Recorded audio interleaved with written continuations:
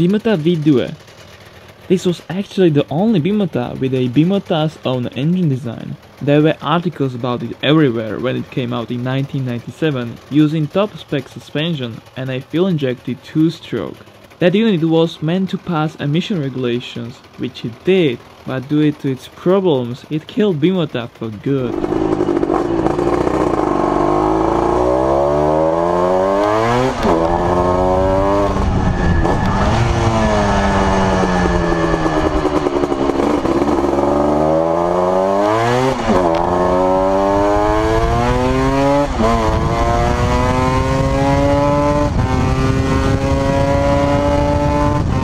Honda NS400R Made as a Freddie Spencer's NS500 replica, the NS400R may be down by 100cc, but it kept its unusual V3 layout with a very compact design and nimble bike behavior. More so, Honda turned the power valve to gradually increase power through the revs without a serious kick like a big turbo spool.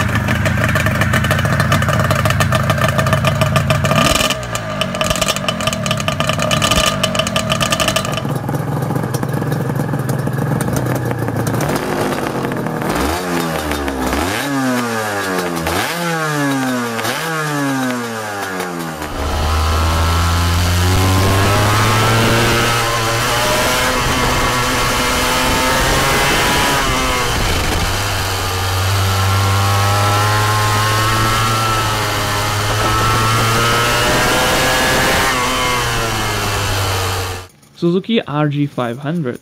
Suzuki was another one who introduced a GP derived bike. It also brought a taste of a square 4-cylinder menace to common people. The engine had twin crankshafts, 180 degree offset cylinders for even firing, and was hungry for revs. Even though it was rated with peak power at 9k, it did not stop until 12,000.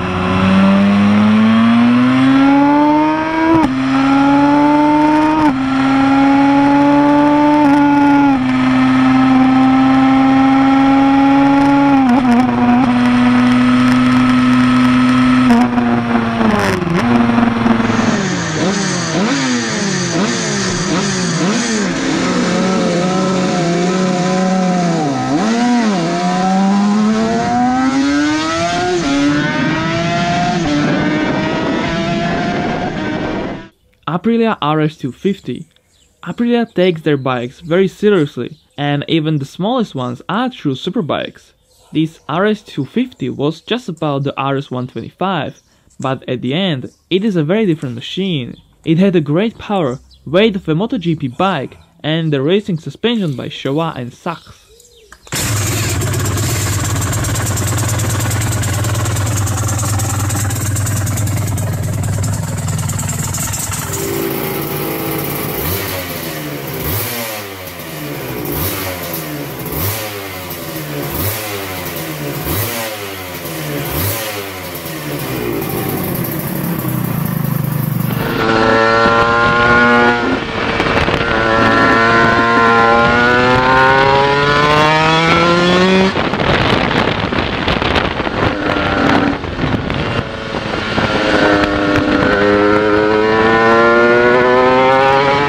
Suter MMX 500.